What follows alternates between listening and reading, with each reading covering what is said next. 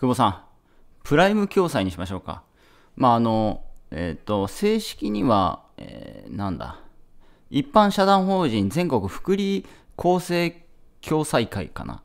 みたいな名前があるんですけども、一回それに入ったんですよ。それは MLM の仕組みがあって、あの、今までの MLM っていうのは、物が在庫があって大変だと。だから、この福利として、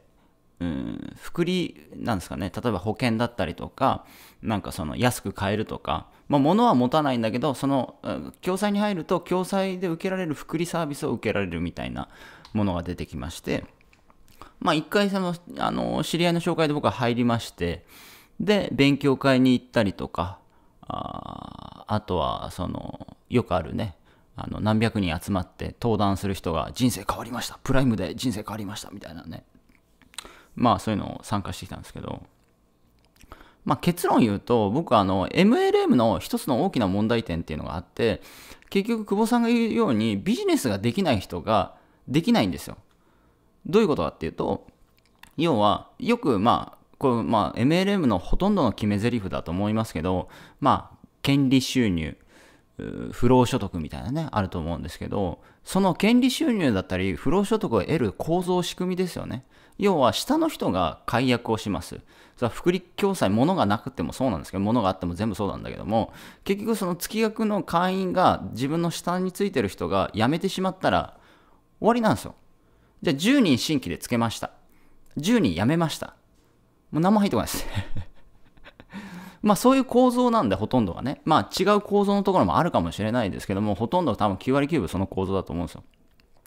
なんで、その構造だと何をしなければいけないのかっていうと、マネジメント能力、まあビジネス、まあその、例えば、ビジネスで言うならば、会社の社長にならないといけないし、会社の社長になって、で、従業員をうまく活動させる、動かせる、チームのリーダーになって、その、リーダーがあチームを率いて動く、潤滑にうまく活用する、動かすってことをしないといけないですよね。だから MLM は何やってるかっていうと、常に勉強会やって、で、そのダウンの人にこういうふうにやれば、あの、新規取れるよみたいな教育をやったりとか、モチベーションアップしたりとか、あとセミナーにどんどんどんどん誘導して、セミナーで、え、夢を叶えた人たちの話を聞いて、モチベーションアップするっていうのをもうずっとやってるんですよね。うん。だからそこからまあ抜け出せないというか、まあその新規で獲得した人がガンガンね、ビジネスをやっていて、まあ売れる人だったらそれはラッキーですよ。ね、勝手に広めてくれますから。でも、じゃあ、割合的に見て、社長になる人と社員の割合ってどっちで、どっちが高いですかというと、社長になる割合めっちゃ少ないですよ。で、ほとんど新規に勧誘する、勧誘する人がビジネス未経験の人なわけですよ。ってなると、そのビジネス未経験の人が動けるのか、アクティブに動いてセールスできて、またダウンを持ってこれるのかっていうと難しいんですよ。だここがね、僕は MLM の大きな欠点かなと思いますし、逆を言うと、最大のメリットでもあるんですよ。なぜならば、あの、参入してる人がビジネスやってないので、ビジネスやってる人がそういうスキーム、マーケティング、えー、そういう活動をできれば、結局、その人につく人っていうのはビジネスを知っている人がダウンについたりする傾向がありますのでそうすると、まあ、そのダウンが勝手にまた動いてくれてみたいな話ですよね。うんだから初心者が初心者を囲っても初心者の結果しか出ないってことですね。でもプロがプロがやるとプロにプロがついてくるんですよ。でそうするとすごいこの構造になってくるわけですよね。そうもちろん数の理論もあります。もちろん初心者がその頑張ってねぐわーって頑張ってプロになる、なって、あの、ダウンで最初初心者だったけども、プロになってね。で、成功するっていうパターンもあります。でも、難しいですね。確率的には。うん。まあ、それはまあ、どんなビジネスも一緒だと思うんですけど、ただ、そこがね、僕はね、非常に大きな欠点なんじゃないかなと思いますけどね。うん。だから、あの久保さんが言う通り MLM やるんだったらやっぱビジネスの経験ビジネスのマインドビジネスのマーケティング自分で集客して自分で商品売れるぐらいのそのものが変わってもね売れるか売れないのかじゃあどういうふうに売ればいいのか市場のニーズはどうなのかその市場のニーズにマッチングしてるのかお客さんはどんな悩みを持っているのかその悩みに対して供給してるのかとかそういうそのビジネス的な発想着眼点がないと、まあ、なかなかね押し売りになってしまうってとこですね。これいいよ、これいいよ、みたいな。これがいいんだ、アムウェイのこれがいいんだ、みたいなね。そう。いや、別に ネット探せば、アムウェイ以外にもいい商品いっぱいあるわけじゃないですか。で、さらに言うと、昔と違って、ネットワークビジネス、これも欠点だと思うんですけど、まあ、物を扱ってるネットワークビジネスの欠点は、要はインターネットはインフラが整ったことによって、誰もが Amazon とかでいろいろんな情報をこう、ものでもあの探せるようになっちゃったんですよね。で、昔はその情報がなかったんで、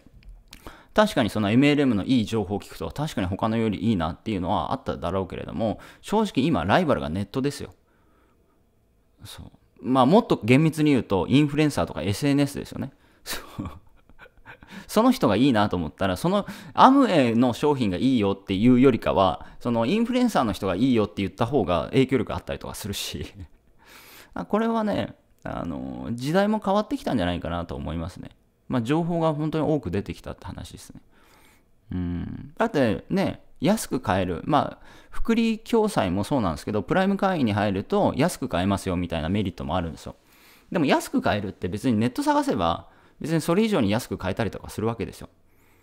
うん。だからそこの世界観だったら安いかもしれないけど、もっとインターネットの全部見たら、それより安い商品あ、それより安く買えるとこもあるだろうし。うん。仮にですよ、こういうパッケージングだったら僕はありかなと思うんですよ。その、まあ、その MLM に入っていると、そのカードが発行されてね、そのカードを吉野家で見せます、勝屋で見せます、えー、丸亀製麺で見せます、その、そこら辺のちっちゃい、久保さんが行くような床屋さん、50年やってる床屋さん、インターネットが入ってない床屋さんに行っても、そのカードを提示すると全部30%引きになりますよっていうものであるならば、もう究極ですよね。アマゾンで買おうが全部30%になるとかね。そそれはもう究極だと思いますけど、ね、でもそれは現実的に無理なんで、そのサービスを提供することは多分無理ですね。うん、今もね、T ポイント加盟店だったりとか、Yahoo、あの、PayPay を加盟してるところ、やっぱ差があるわけですよね。だからこう全部に行き渡すっていうのはかなり難しいですよね。もしそれが全部に行き渡ることが可能なサービスが MLM があるんだったら、それは入っても自分がめちゃめちゃお得だと思いますよね。ダウンにつかなかったとしても。うん、要は月額費用よりさらに、えー、まあでも買い物しなければあれですけどね、その場合だと。うん。そうだからね、MLM はね、あのビジネスはやっぱできないと難しいですね。うん。でもビジネスを経験、未経験の人がほとんど入るし、ビジネス未経験の人が勧誘するしっていう、このなんか悪循環ですよね。があるんじゃないかなと思いますね。まずはビジネスを勉強しましょうって話です。いってらっしゃい。